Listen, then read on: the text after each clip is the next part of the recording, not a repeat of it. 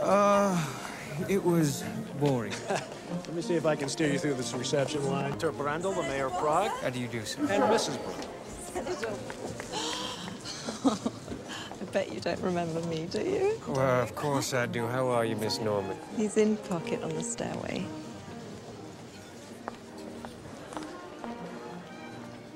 Mr. Golitsyn, nice to see you.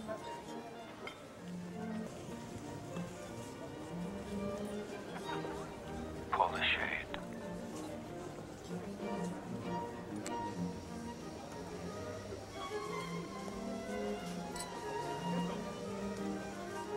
Sarah Martha package. Go to two.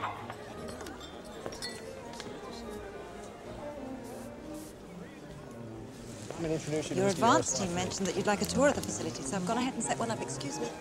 Uh, sir? This way? Thank you.